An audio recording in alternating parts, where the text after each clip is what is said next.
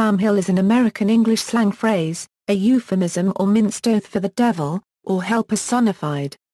Etymologist Michael Quinion and others date the expression back to the late 1830s. They and others consider the expression to have been a simple bowdlerization, with, according to the Oxford English Dictionary, an unknown origin. Possible reference, candidate reference for the use date back to at least the 19th century. The following are possibilities of the term's origin. H. L. Mencken suggested that the phrase derives from Samiel, the name of the devil in Der Freiische One Quarter TZ, an opera by Carl Maria von Weber that was performed in New York in 1825. The phrase Sam Hill can also be seen in the variant Samuel. Sam Hill was a mercantile store owner who offered a vast and diverse inventory of goods.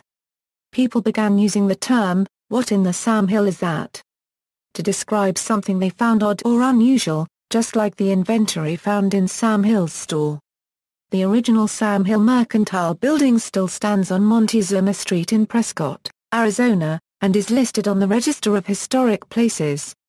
An article in the New England magazine in December 1889 entitled Two Centuries and a Half in Guilford, Connecticut mentioned that, between 1727 and 1752 Mr. Sam Hill represented Guilford in 43 out of 49 sessions of the legislature, and when he was gathered to his fathers, his son Nathaniel reigned in his stead, and a footnote queried whether this might be the source of the popular Connecticut adulation to give him Sam Hill. The millionaire Samuel Hill, a businessman and good roads advocate in the Pacific Northwest, became associated with the phrase in the 1920s. A reference appeared in Time magazine when Hill convinced Queen Marie of Romania to travel to rural Washington to dedicate Hill's Maryhill Museum of Art. The fact that father of Good Road Samuel Hill hadn't been born when the figure of speech first appeared in a publication rules out the possibility that he was the original Sam Hill in question. A possible origin for the phrase Sam Hill is the surveyor Samuel W. Hill. Hill allegedly used such foul language that his name became a euphemism for swear words. In the words of Charles Eschbach, back in the 1850s the Keweenaw copper mining boom was underway. There were about a dozen men who pretty much ran the Keweenaw. They were mining company agents, the go-between for the investors from Boston and the actual mining production people. Their names were attached to every report sent back to Eastern investors. Among these company agents was a man named Samuel W. Hill. Sam was a geologist, surveyor, and mining engineer and had considerable power in the Keweenaw. According to author Ellis W. Courter, Samuel Hill was an adventurer, explorer, miner, and surveyor. He had worked with Christopher C. Douglass and Douglass Houghton on the early state survey. His judgment was respected. Although he was a rough character, he possessed a big heart and in the fall of 1847 had risked his life to help avert a threatened food shortage in the Copper Harbor district. Generally he was regarded as a hero throughout the entire copper country, however, he was contemptuous of all the praise that was heaped upon him. Hill also gained a reputation as being one of the most blasphemous and obscene swearers in the Keweenaw Peninsula.